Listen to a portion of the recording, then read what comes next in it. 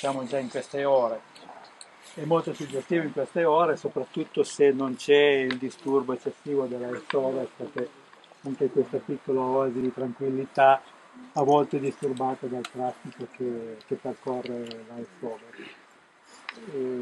potrebbe essere bello in questa serata, visto che siamo sul tema dei dei, degli uccelli, della fauna notturna, magari avere l'occasione di eh, sentire il canto, il verso del, dell'allocco. È un rapace notturno che potrebbe esserci in queste zone qui. Non l'abbiamo mai percepito, almeno le volte che siamo venuti qui.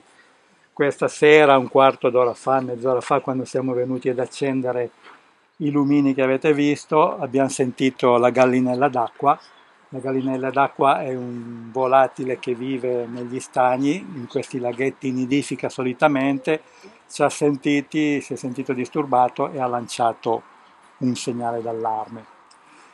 E come vi dicevo, sarebbe bello in queste serate qui avere l'occasione di ascoltare o di vedere un rapace notturno che si muove, che si leva in volo.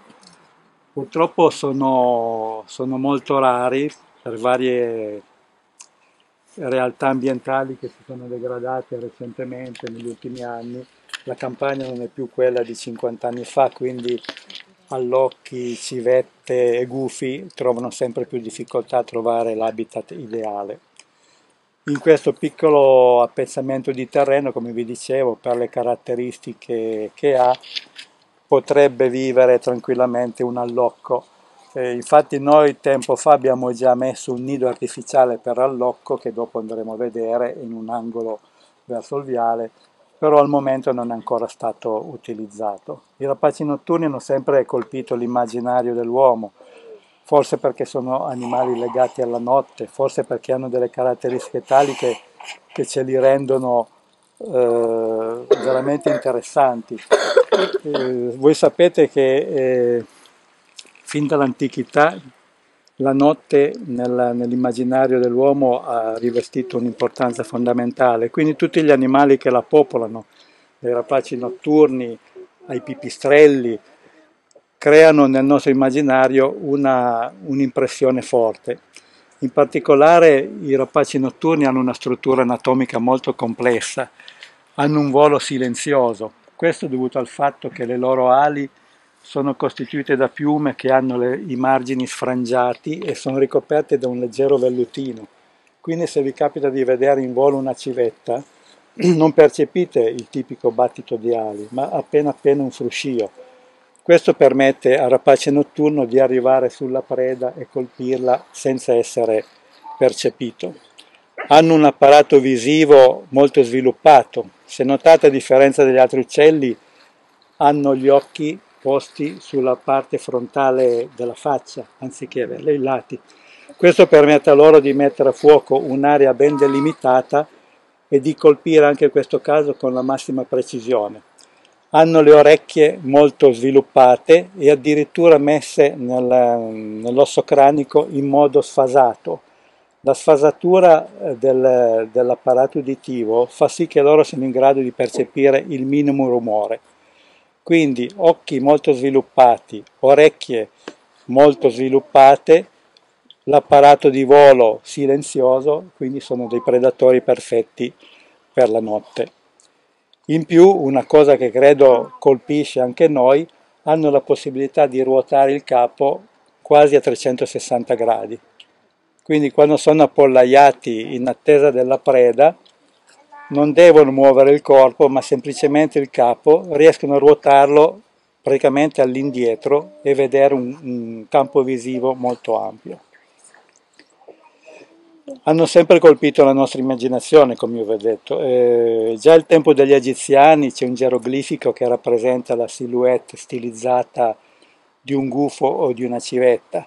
È un geroglifico che rappresenta l'oscurità, il freddo e la morte hanno sempre avuto quindi anche la, un po' la sfortuna di essere abbinati a un'idea di, di tenebre, di morte, di freddo. Nell'antica Grecia questa immagine si è un po' rivalutata perché la civetta era l'animale sacro alla dea Atene. era l'animale sacro perché Atene rappresentava la saggezza e la civetta con la sua capacità di vedere nella notte rappresentava appunto la, la perspicacia, la prudenza, la chiaroveggenza, quindi un animale che nella notte riesce a vedere lontano, rappresentava idealmente quello che era la dea che sapeva con la sua saggezza illuminare il cammino degli uomini. Una, una tradizione che si è mantenuta poi nell'antica Roma con Minerva, nel Medioevo si è poi praticamente persa e gli uccelli notturni lì hanno incominciato un po' ad acquisire quella fama eh, immeritata di animali legati alle tenebre, a riti stregoneschi e così via. Nel Macbeth di Shakespeare le streghe, mentre fanno la loro pozione, buttano dentro ali di gufo, perché il gufo, essendo un animale legato alle tenebre e alla notte, aveva qualcosa di magico dentro di sé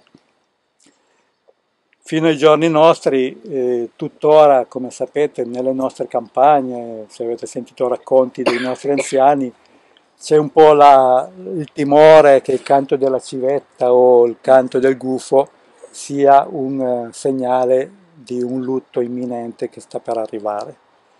Eh, per fortuna sappiamo che non è così, hanno un canto particolare questi animali notturni che non è quello degli uccelli che, che vivono durante il giorno, che è ovviamente più melodioso. È un canto ripetitivo, spesso, a volte uno stridio. Il barbagianni fa un suono che sembra quasi il sibilo di una pentola a pressione, quindi ha qualcosa di, di stregonesco in questo, in questo, verso che riesce a, a tirare fuori. Purtroppo eh, hanno subito, come vi ho detto all'inizio, l'impatto del degrado ambientale che stiamo un po' vivendo tutti di questi tempi. Sono molto rarefatti come numero, il Barbagianni che una volta era presente in vaste aree della pianura, ormai eh, qui in, nella zona di Cuneo è quasi scomparso. Per fortuna abbiamo ancora la presenza della civetta, dell'allocco, del gufo, in alcune zone di montagna è presente il gufo reale, sono presenti alcune altre specie di civette, le civette capogrosso, le civette nane che vivono in boschi di conifere. Però negli ambienti cittadini o semiurbani come questo, i rapaci notturni che ancora possono esserci sono, come vi dicevo, l'allocco e la civetta. La civetta di solito utilizza anche vecchi ruderi per, per ripararsi, per fare il nido, Qui sotto lungo il, percorso del parco fluviale, se vi è capitato già di passare, c'è un vecchio maneggio in abbandono, potrebbe essere il posto ideale per una, la presenza della civetta, non l'abbiamo ancora rilevata noi però finora. Sono animali utili, concludo con questo, quindi eh, sgombriamo il campo dalle superstizioni, sono molto utili per la, per la campagna e per le coltivazioni perché sono voraci di micromammiferi, quindi topolini, arvicole, tutti quei piccoli roditori che portano danno alla campagna, all'occorrenza si nutrono anche di insetti e quindi sono di una grande utilità. Eh, speriamo che possano continuare ad essere presenti e ad aiutarci con la loro presenza realizzare quell'equilibrio ambientale che noi come l'IPU, come tanti altri, cerchiamo di perseguire. Se qualcuno vuole domandare qualcosa.